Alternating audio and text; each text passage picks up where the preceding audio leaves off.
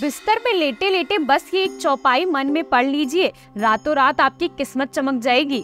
कोई भी इंसान कितना भी हिम्मती और धैर्यवान क्यों ना हो। उसके जीवन में कभी कोई ऐसी स्थिति ज़रूर आती है जब वो उससे निपटने में खुद को लाचार महसूस करता है, खुद को बेहद असहाय समझता है। ऐसे में हर परेशान या विपत्तियों से घिरा व्यक्ति अपने भगवान को याद करता है, उनकी शरण में जाता है, उनकी पूजा अर्चना करता है।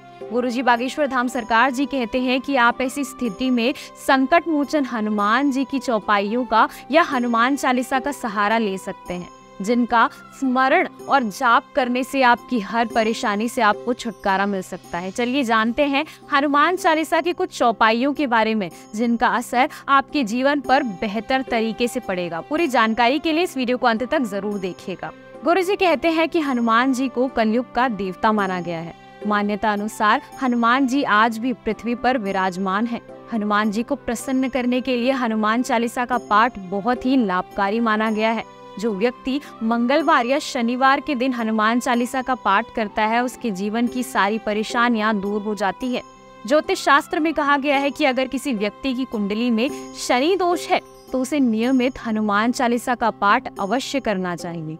गुरु जी कहते हैं कि अगर किसी कारणवश आप कर्ज में डूबे हुए हैं तो आप हनुमान जी की भक्ति करें। आपको कर्ज से छुटकारा अवश्य मिलेगा। आप मंगलवार के दिन अपना कर्ज चुकाने के बारे में ज़रूर सोचें। इस दिन ऐसा सोचने से और हनुमान चालीसा पढ़ने से आपको हनुमान जी की कृपा से बहुत जल्दी कर्ज से मुक्ति मिलेगी। बुधवार और रविवार को कभी भी किसी को उधार ना दे। मंगलवार को हनुमान चालीसा का पाठ करके हनुमान मंदिर में नारियल रखना अच्छा माना जाता है। ऐसा करने से कर्ज से जल्दी मुक्ति मिलती है। अगर आप बेरोजगार हैं या आपका बिज़नेस घाटे में जा रहा है तो आप हनुमान जी के मंदिर में मंगलवार के दिन सुंदर कांड का पाठ करें। प्रतिदिन हनुमान चालीसा का पाठ करें। हो सके तो पाँच शनिवार को हनुमान जी को चोला चढ़ाएँ। शुक्ल पक्ष के किसी भी मंगलवार की रात को हनुमान जी के मंदिर में दो दीपक जलाएँ और हनुमान चालीसा का ग्यारह बार पाठ करने के बाद पहले देसी घी का एक छोटा दीपक जलाएँ। दूसरा नौ बत्तियों वाला एक दीपक जलाएँ, जिसमें सरसों का तेल और दो लौंग भी डाल दें। इसे रात भर जलते रहने दें। छोटा दीपक अपने दाहिनी तरफ़ और बड़ा दीपक हनुमान जी के सामने रखें।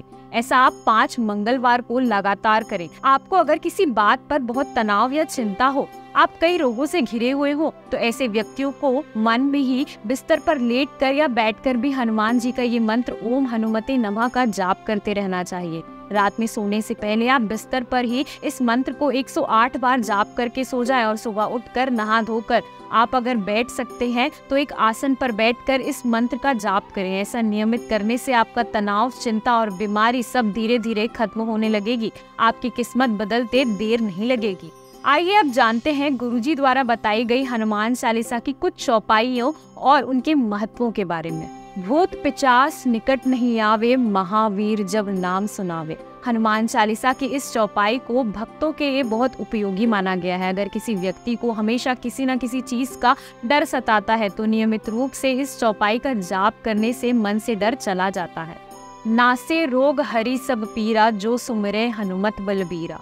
इस चौपाई को सबसे ज़्यादा महत्वपूर्ण माना गया है क्योंकि हनुमान जी आठ सिद्धियाँ और नौ निधियों के दाता हैं। इन्हें ये वरदान स्वयं माता सीता ने दिया था। किसी व्यक्ति को अगर जीवन में शक्तियों को प्राप्त करना है तो हनुमान चालीसा के इस चौपाई का पाठ ज़रूर करना चाहिए। विद्यावान गुनी अति चातुर राम काज करीबे को आतुर।